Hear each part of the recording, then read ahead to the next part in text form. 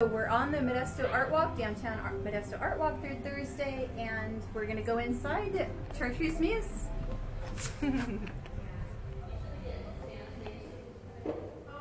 All right, so the show that you see on our walls right now is a landscape show. It's kind of our featured show. We have four different artists that we're showing.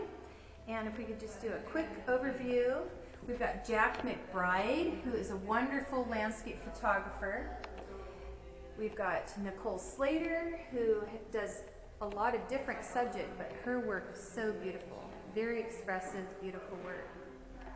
Jack Morris is one of our artists. The gallery here too. Hi, Barbara. Hi.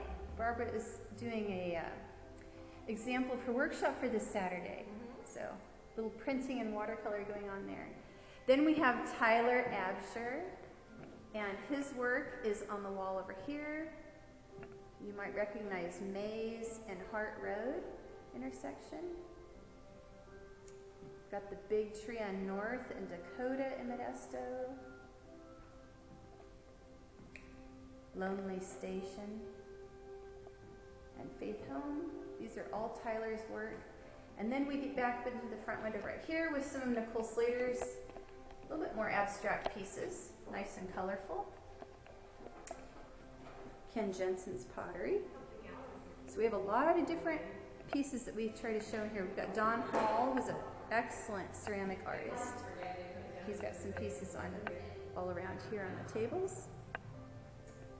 And then heading back, we like to save for people to live with art. So we have kind of our sec- middle section here. We have clothing, blouses, scarves, socks, things like that that people can are functional, and some beautiful jewelry that we show from regional and local people.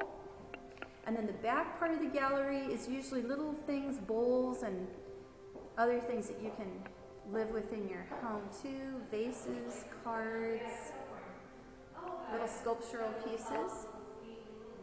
All right.